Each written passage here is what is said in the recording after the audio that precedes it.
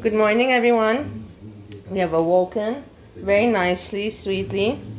We went down and we watered together. We watered the garden, which we will do later. And then we see what we will do today, right? Dweeby, what do you say? Yeah. What do you think we'll do later? Okay, we'll see about that. Anyways, breakfast is almost. Yeah. Okay, okay, okay. I hope everybody's also having a good day. Happy Memorial Day. How do you say this? Happy Memorial Day. Yeah. Yeah.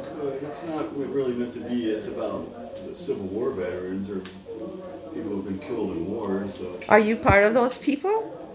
no, but I like to. It's not. To me, it's not really intended to be necessarily a happy, joyful holiday. It's about remembering dead soldiers.